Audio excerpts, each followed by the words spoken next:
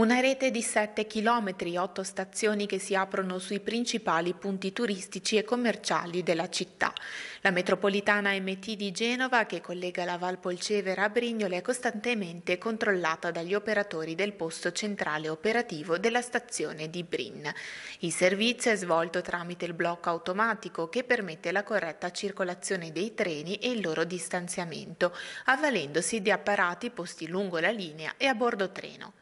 Grazie a un sinottico luminoso è possibile seguire i treni in qualsiasi punto della linea. Il centro di controllo può comunicare con i treni tramite un apparato radioterra-treno o con i passeggeri tramite la diffusione sonora, le colonnine SOS e i citofoni degli ascensori. Noi abbiamo degli operatori che eh, stanno qua H24 eh, tutti i giorni dell'anno e hanno a disposizione tutta una serie di ehm, attrezzature che consentono di eh, gestire il traffico ma anche gli impianti della metropolitana nonché la sicurezza. Vedete eh, che vi è un quadro sinottico che serve per gestire la circolazione dei treni. I nostri dirigenti centrali del traffico intervengono in caso di perturbazioni, mettono dei treni per potenziare il servizio, li fanno uscire quando è l'ora di farli uscire e possono, entrare, possono intervenire sugli apparati di alimentazione, di ventilazione dell'antincendio. Inoltre, come vedete, abbiamo una serie di monitor che consentono di tenere sotto controllo le stazioni, la linea e anche i veicoli della metropolitana. Ci sono anche dei sistemi che consentono di eh, interagire con i macchinisti sui treni ma anche con i passeggeri, vi sono all'interno dei treni delle colonnine SOS e anche in tutte le stazioni che possono essere usate da, da tutti per eh, comunicare al posto centrale eventuali problemi, eventuali emergenze. Questo è il quadro sinottico della linea, come vedete sono indicate tutte le nostre otto stazioni da Brin a Brignole e i numeretti che vedete che si stanno muovendo sono i treni eh, che sono identificati col cartellino. Il cartellino è l'insieme delle partenze da capolinea. Ehm, tramite il sistema di segnalamento di automazione i nostri dirigenti centrali del traffico riescono a creare degli itinerari, queste cose qua giallo,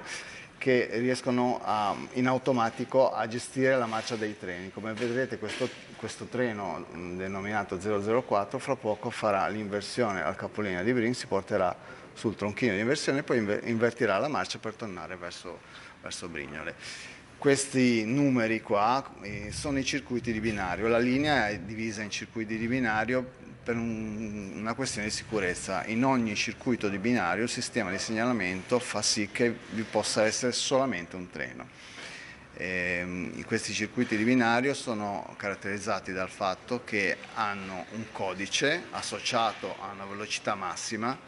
che è captata dal treno. Nel caso il treno sfori questa velocità massima, il sistema di sicurezza del treno, che si chiama ATP, interviene e lo fa fermare. Invece questo è il quadro sinottico dell'alimentaziona elettrica di tutta la linea della metropolitana. La metropolitana ha quattro arrivi Enel,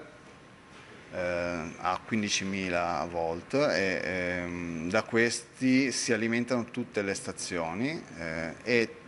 che sono queste. Eh, ciascuno è dotato di una cabina di stazione che serve per alimentare le luci, le scale mobili, i ventilatori, Inoltre poi ci sono tre sottostazioni che servono per la linea di contatto, cioè per eh, alimentare i treni, per dare, eh, fare in modo che i treni si muovano. La maggior parte dell'energia elettrica eh, della metropolitana, contrariamente a quello che si può pensare, è spesa dalle, non tanto dalla marcia del treno quanto da, dalle, dalle cabine di stazione, in quanto per darvi un numero noi abbiamo 6.000 lampade e queste sono gran parte di, di, quello che consuma la metropolitana che è l'impianto dell'MT che è maggiormente energivoro.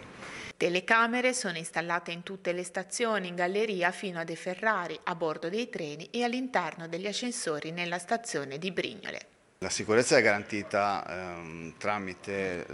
le immagini che arrivano qua, ma anche del personale che è itinerante nelle varie stazioni, un personale sia di guardianaggio che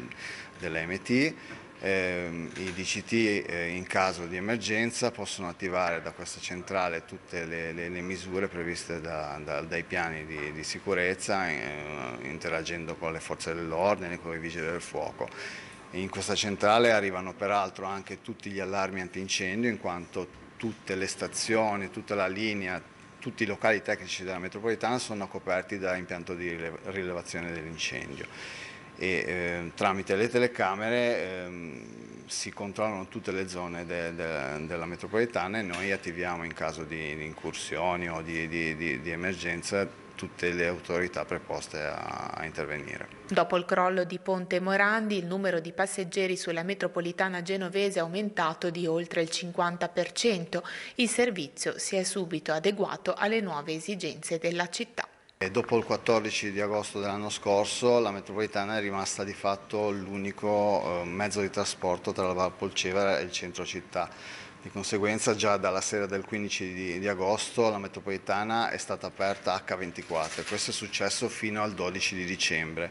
perché, ripeto, la metropolitana è stato l'unico mezzo di trasporto e oltre ad aver incrementato l'orario di servizio abbiamo incrementato anche le corse e dopo un, un primo periodo diciamo, turbolento in cui abbiamo oh, seguito le esigenze che ci venivano comunicate giornalmente abbiamo avuto un incremento di passeggeri da 40.000 al giorno a 64.000 al giorno verso ottobre del 2018.